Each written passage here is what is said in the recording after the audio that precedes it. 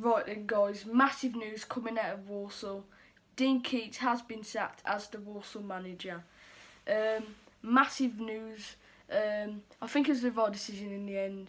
Tactically, didn't have it. The football was absolutely shocking, but hopefully we need to get make the right decision for this manager. We've had so many managers recently um, over the last five years, I'd say, five three years, I don't know, but. I would like Paul Hurst in the long term, but um, I reckon they might bring in Martin O'Connor till the end of the season. But Paul Hurst would be the best one for me. Picture on screen now would be the picture of Martin O'Connor and Bonser speaking straight after the game. Um, that might show something maybe, but I'd rather at least they haven't done it right at the end of the season when we might have been down, but Paul Hurst for me would have been would be the best one. But good luck for Dean Keates in the future, um, wherever whatever you do.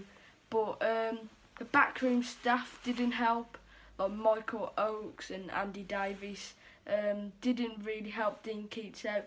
When Martin O'Connor came in, helped out a lot, always in the in the technical area, telling the players what to do. But I'm surprised. I'm actually quite surprised they've sacked him.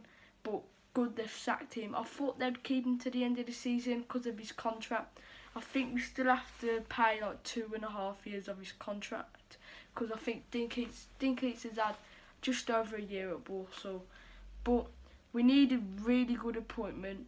Um, but Paul Hurst, like I said, would be absolutely amazing. Ex Shrewsbury, ex Ipswich.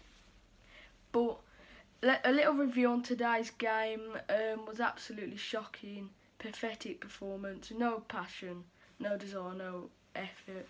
But um, thank you guys for watching this video. Like, comment and subscribe. Put down in the comments what you think of the sacking of Dean Keates and who we who we should get as a new manager here.